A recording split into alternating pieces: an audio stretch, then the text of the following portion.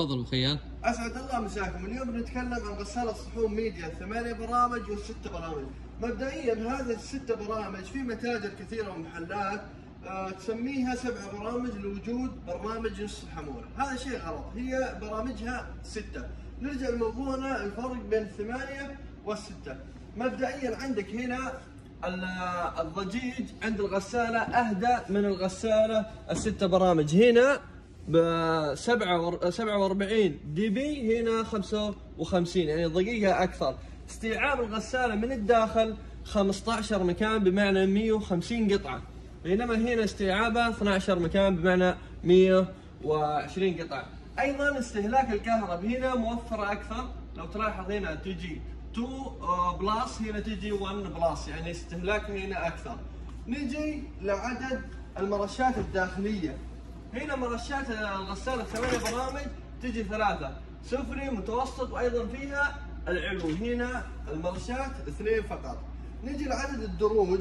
الدروج هنا فيها درج ثالث أضافي فوق علوي. هنا ما فيها الدرج العلوي. نجي للبرامج. البرامج الفرق بين هذه وهذه هذه ستة. اللي هو برنامج جذور الاتساق وشد الاتساق وبرنامج آه العادي والإيكو والسريع. والقزاز واليومي. البرامج الستة هذه موجودة في الثمانية. يضاف إليها برنامجين زود اللي هن برنامج التلقائي يعني يحدد درجة الحرارة والموية والوقت لحاله اوتوماتيك وبرنامج الشطف ما قبل الغسيل. فيها هذا البرنامجين يفرق عن هذه الغسالة. الشيء الثاني البرامج الإضافية الموجودة في الثمانية برامج غير موجودة في الستة. اللي هو آه، آه، الزر هذا زر الأف وهذا برنامج باور آه، يعطيك قوة في الغسيل والتجفيف. بس إنه يضيف عليك وقت. يعني إذا كان برنامج مثلا مدته ساعة ممكن يضيف لك 20 دقيقة عشان يزود لك التجفيف قوة التجفيف وقوة أيضا الغسيل.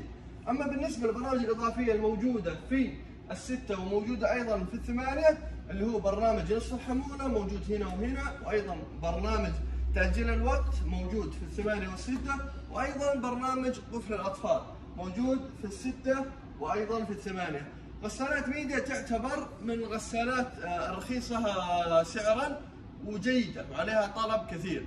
فهذا شرح وافي للناس اللي إيش آه، محتارة بين الثمانية والستة. إن شاء الله أكون أفدتك والسلام عليكم ورحمة الله.